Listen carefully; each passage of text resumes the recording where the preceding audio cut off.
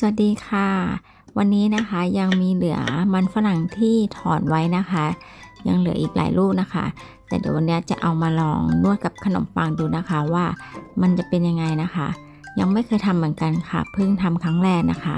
เดี๋ยวมาดูกันค่ะว่ามันจะกินได้ไหมคะ แล้วมันจะเป็นยังไงนะคะ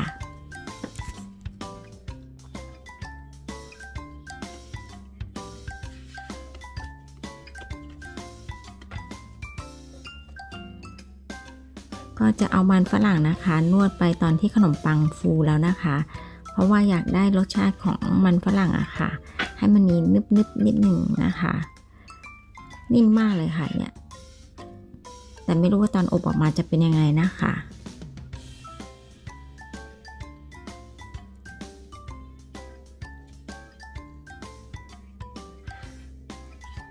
ดีนะคะเป็นคนที่ชอบทำขนมพวกขนมปังนะคะ แต่ว่าเป็นคนไม่ชอบกินพวกแป้งนะคะ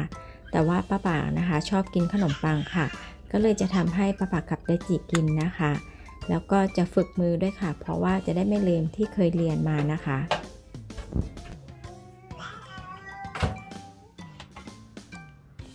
ได้แล้วค่ะขนมปังนวดกับมันฝรั่งนะคะ หน้าตาใช้ได้เลยนะคะ เดี๋ยวเรียกเด็กๆมาชิมค่ะ มันนิ่มมากเลยค่ะ นิ่มเหมือนโอโมจิเลยค่ะ ก็ถึงคิวตัดผมให้ป้าป่าแล้วนะคะ ก็จะตัดอาทิตย์ละหนึ่งคนค่ะ เดือนละคนละหนึ่งครั้งนะคะ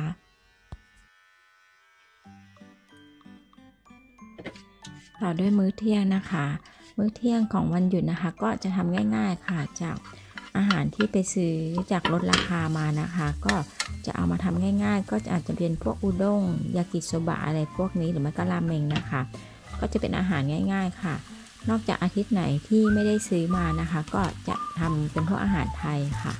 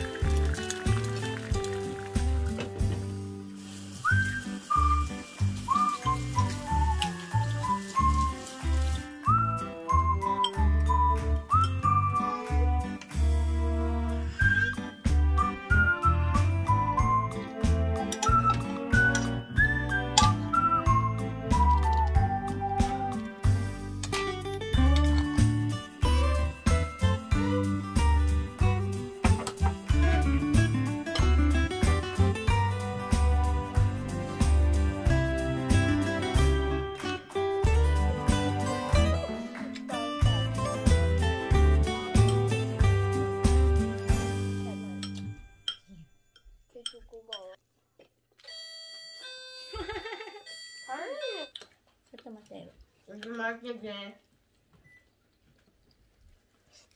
あの、あ今ご飯食べてるからちょっと待ってて。เดี๋ยวไปส่งของก่อนส่งของกันนะคะ ไปอิกิมา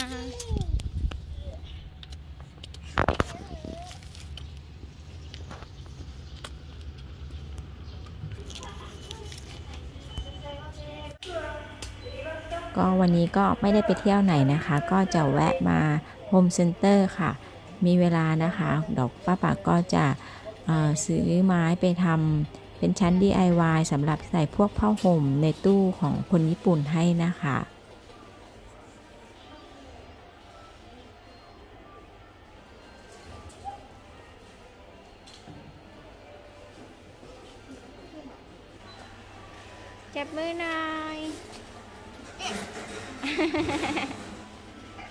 ไม้จะทิ่มมือน้อง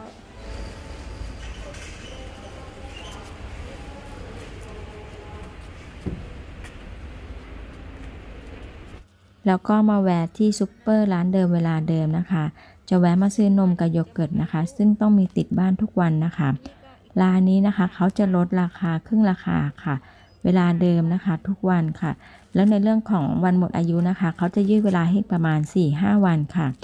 ก็จะช่วยประหยัดในเรื่องของค่ากับข้าวได้เยอะเลยนะคะ บางวันก็จะเจอขนมที่ไม่เคยทานนะคะ ก็จะลองซื้อไปลองทานดูนะคะ เพราะว่ามันเป็นราคาครึ่งราคา ถ้าไม่ชอบมันก็ไม่เสียดายนะคะ ในราคานี้นะคะ ก็ช่วยประหยัดในเรื่องของค่ากับข้าวได้เยอะเลยค่ะ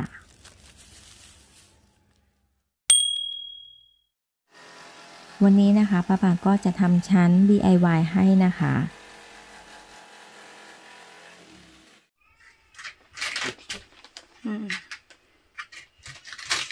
ที่ใส่ที่นอนของเก่าก็จะเป็นแบบนี้ ลกเชียป้าป่าทำเฉพาะข้างบน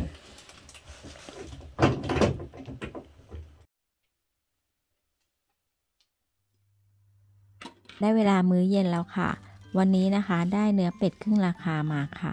ก็เลยจะมาทำเป็นบะหมี่เป็ดน้ำแดงนะคะ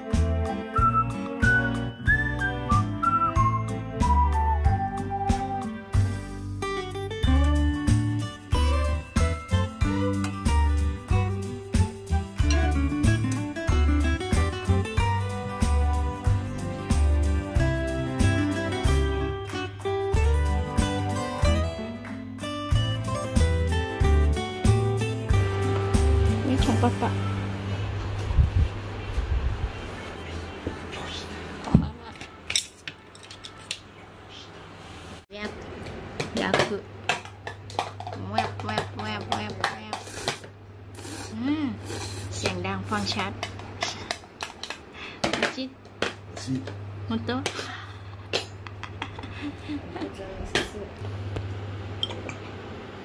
รู้ไหมคืออะไรลูกวงไม่ใช่ ดากุเป็ดเหมือนหมูจังมันหมูข้าวหน้าเป็ด ข้าวหน้าเป็ด โอเค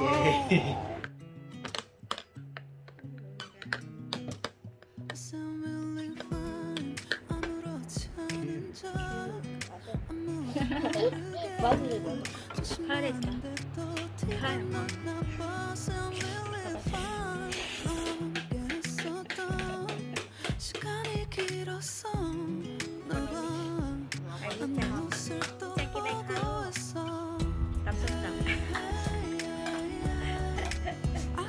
알짝 낯설다.